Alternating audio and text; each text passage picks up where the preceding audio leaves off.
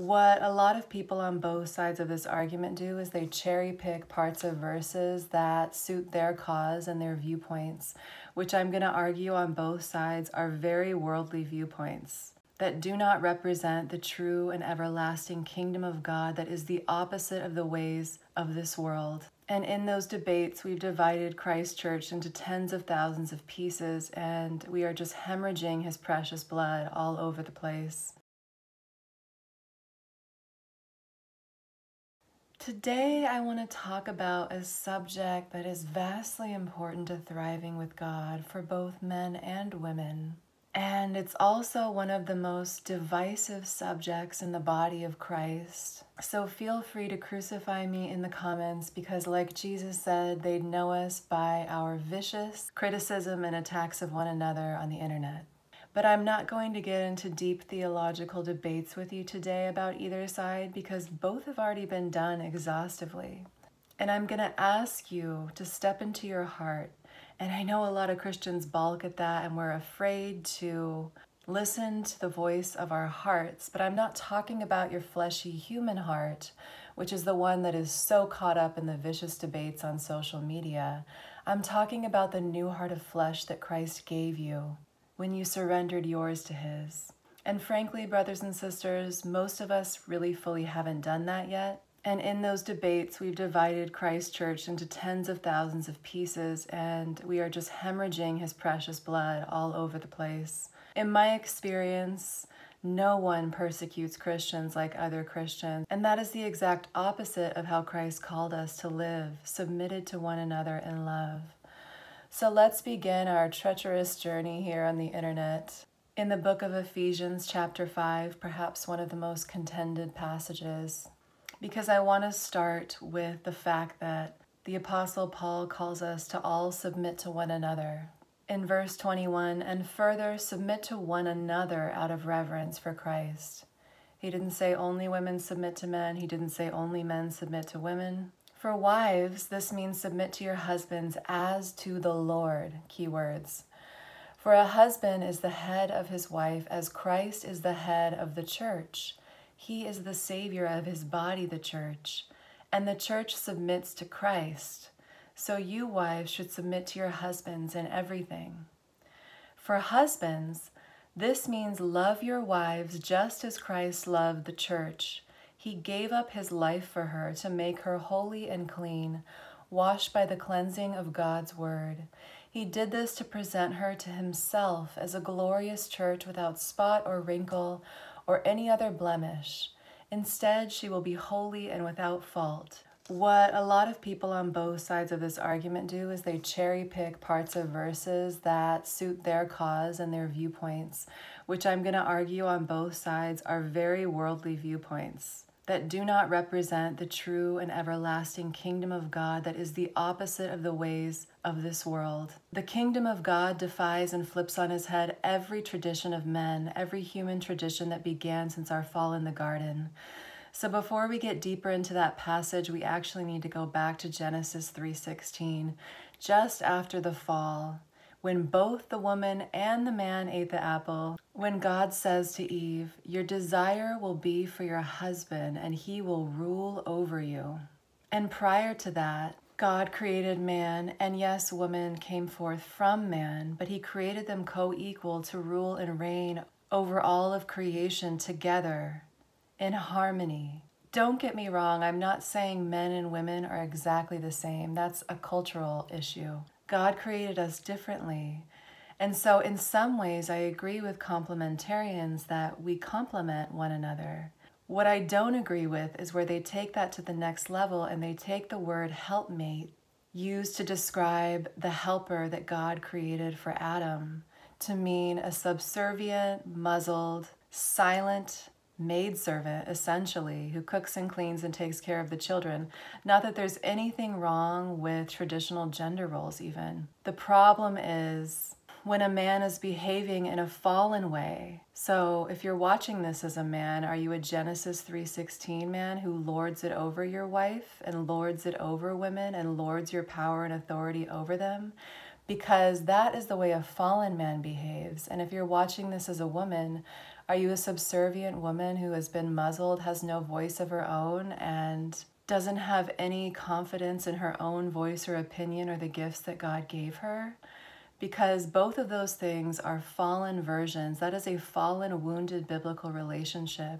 Or we flip to the counterpart, egalitarianism, that only picks out the parts of the verses that it wants. If we do a word study of that word, Ezer, E Z E R, the Hebrew word for helpmate used to describe Eve, and we trace it throughout the entire Bible, we find that that word is used 16 times to describe God's life affirming, essential help to humanity, as well as help during wars and crises.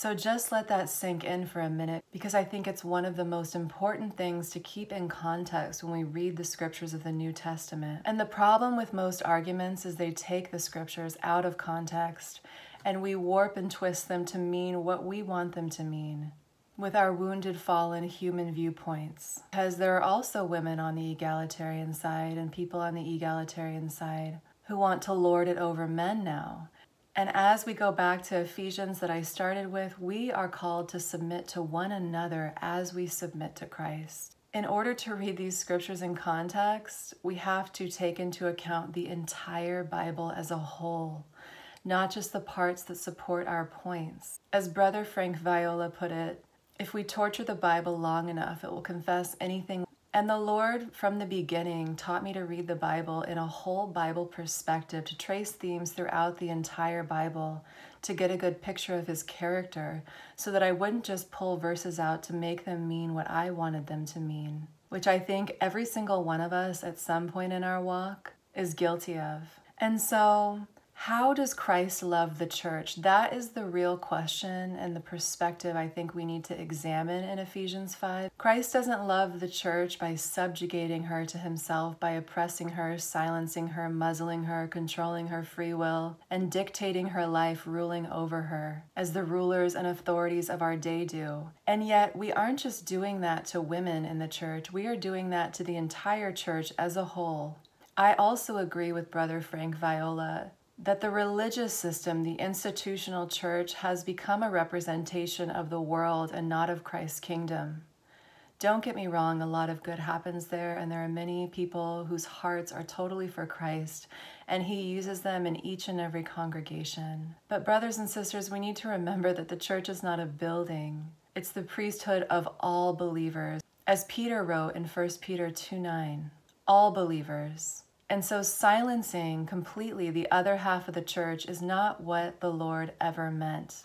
And it's not what Paul meant that a woman should never have any authority in the church at all. Because if we make that argument, we're effectively saying that even though women can be prophets, a prophecy that comes out of a woman can't be heard by a man, even though she's given authority from God to share it. And even though Paul said women can pray in prophecy in the church if their heads are covered, essentially we're usurping Christ's authority in women, not the women themselves, because women aren't the ones who have the authority. Neither are men in the church. It's Christ who has the full authority and headship over the church. And the way he rules over his church is servant leadership. And a lot of us don't even know what that means because we are so entrenched in the dominance hierarchies and systems of this world we have turned the church itself into one, even though that was never his original intention. And I think the best argument for that is Matthew 20 25, where James and John are arguing over who will have the greater authority in Christ's church, vying for position in the kingdom of God. And Christ first admonishes them, saying, You have no idea what you're even asking, and explains to them that that position comes with great suffering. And then he calls them together and says, You know that the rulers of this world lord it over their people, and officials flaunt their authority over those under them. But among you it will be different. Whoever wants to be a leader among you must be your servant, and whoever wants to be first among you must be your slave. For even the Son of Man came not to be served, but to serve others and to give his life as a ransom for many. I'm going to diverge now and share my testimony with you because the reason I felt called to speak on this today is because of my own personal direct experience, relationship, and essentially betrothal to our Lord Jesus Christ, who I am in deep communion and fellowship with. I'll begin by saying that I was a very angry woman prior to Christ calling me and healing my heart. At some point, my righteous anger broke loose, but it did take over. And I was a very angry feminist.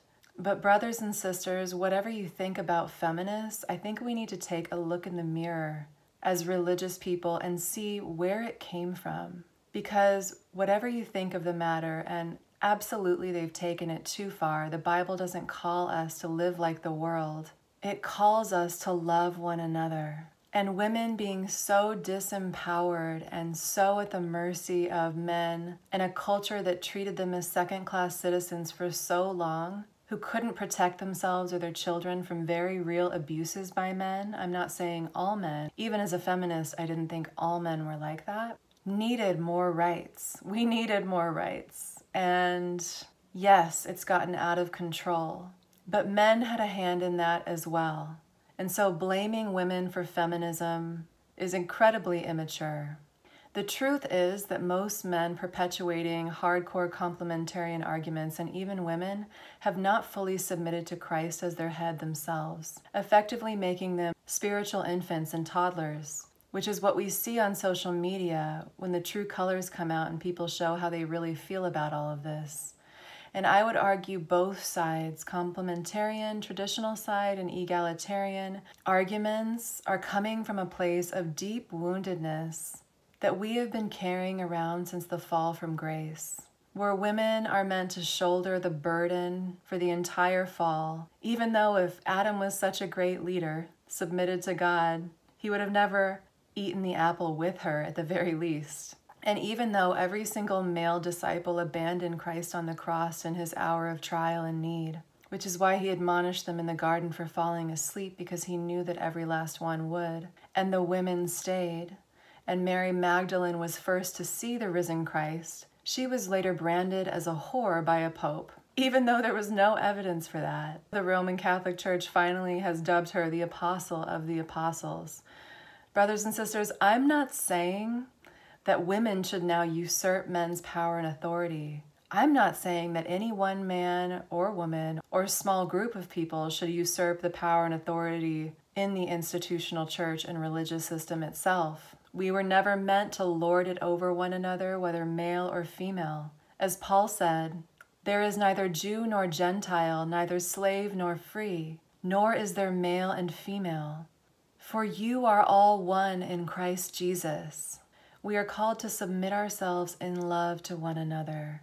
And so, when Christ called me, he called me through a film about Mary Magdalene. And I saw his goodness and I saw who he truly was, though, and he turned my heart. And I said out loud, I'm going to be a disciple of Jesus for the rest of my life before I even knew what that meant yet, which to me means submitting ourselves to Christ first and foremost. As our good and perfect shepherd, the only one who was ever meant to be the true shepherd of his church.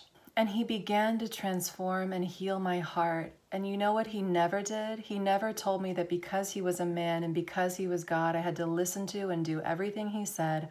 I had no authority and I should just sit there and shut up. Because that is the dominant attitude in the religious system towards women. And I'm telling you, it's not of God. The way that Christ handles me is nothing like that. And any man who has truly submitted himself to Christ will know that a woman submitting to him comes from him proving himself and proving that he's worthy of the office. And it's never about silencing a woman. Let's go to 2 Timothy because that is one of the most contentious passages on this. If we take a whole Bible perspective, the bride of Christ, the church herself, is his absolute passion, his prized possession, his beloved, his queen. He put on flesh and descended from his throne in heaven to die a brutal and heinous death for her, not to subjugate, silence, and tell her that he was above her because he came first. Our Lord doesn't just treat me as an equal. He said to me once, I'm going to lift you up higher than the mountaintops and make you a queen. And He meant me not just individually, but as a part of His church, His beloved bride. That is the God that I submit to because his love for me makes that effortless. His love for me leads me into just absolutely effortless, natural obedience, where I'm full of joy and happiness to follow Him wherever He leads me.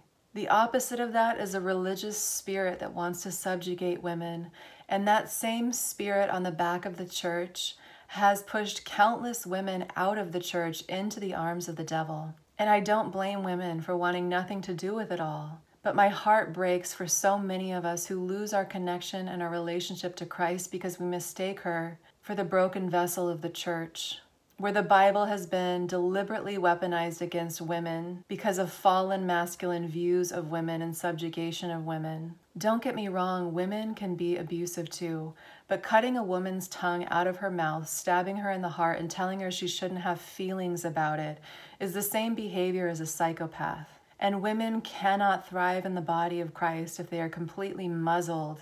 Women should learn quietly and submissively. I do not let women teach men or have authority over them. Let them listen quietly, for God made Adam first, and afterward he made Eve. And it was not Adam who was deceived by Satan. The woman was deceived, and sin was the result.